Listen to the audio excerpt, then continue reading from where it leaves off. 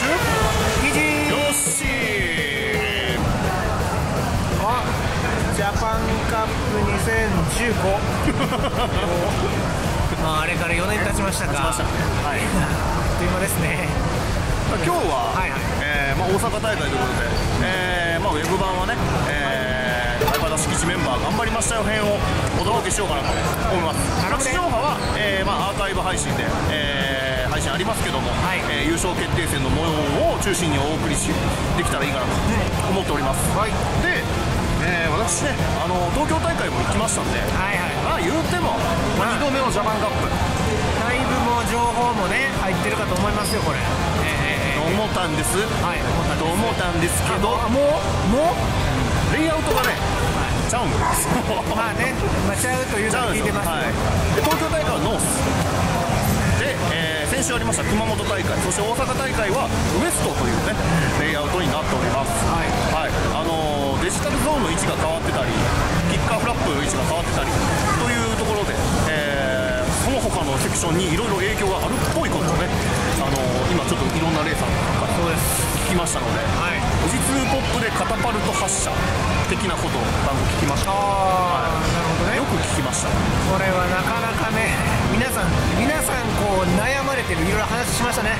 ここここここに来るまでまあ十数名の方々いろいろお話をしたけども、なかなか統一の見解が見えてこない、ただまああの東京大会もそうだったんですけど、こういろんな話をねいろんな方とするとですね、あのなんでしょう壮大なロールプレイングゲームをしてるかのような。あのねこまめなヒント。あの人こう言ってたな。あの人こう言ってたなみたいなのね。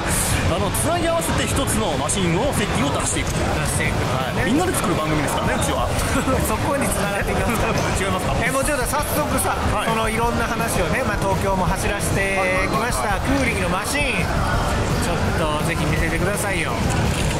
出てきました。いきますよ。さあどんなねお話になっていってがどうなったのか。くくりはい大きく変えた点はですね、はいえーまあ、タイヤからいきましょうタイヤタイヤあの、まあ、フロントは一緒ですはいリアを東京はねこれなんとノーマルタイヤお 26mm ノーマル削らず内履きにねしてますけども内側が盛り上がってるやつねはい、はいにしております、まあ、X なんで、まあ、ワイドトレーニング、はいということで、まあ、これぐらいいいんじゃないかとなるほどはい、な、なんでこのタイヤを選んでるかっていうと、あのーチェンジャーのね、はい。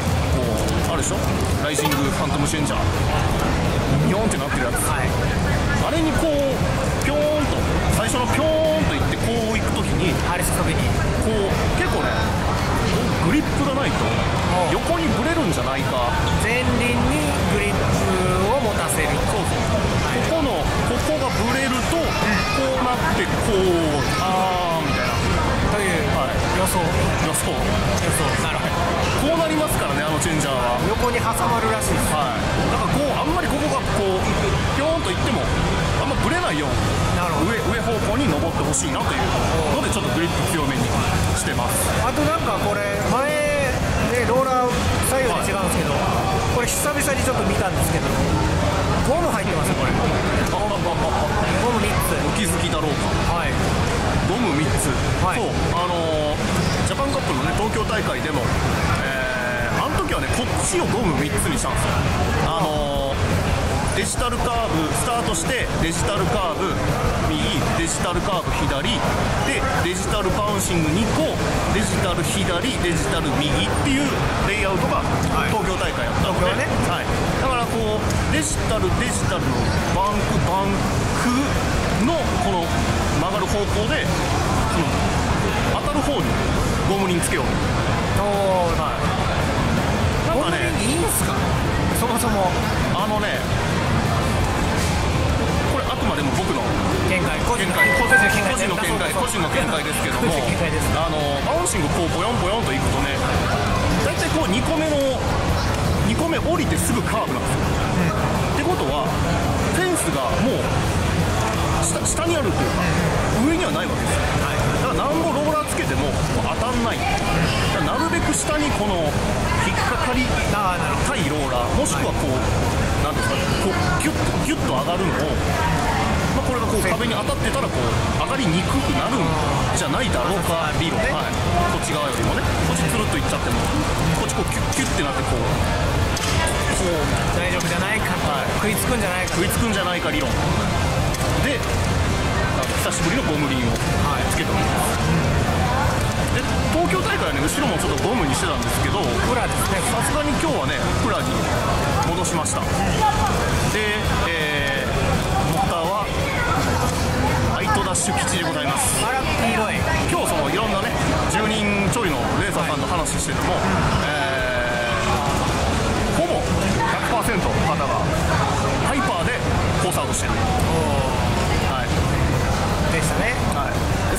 ジュニアの方をねちょっとちらちら見てたんですけど、あのーやっぱり乾燥率も悪いし。悪いね。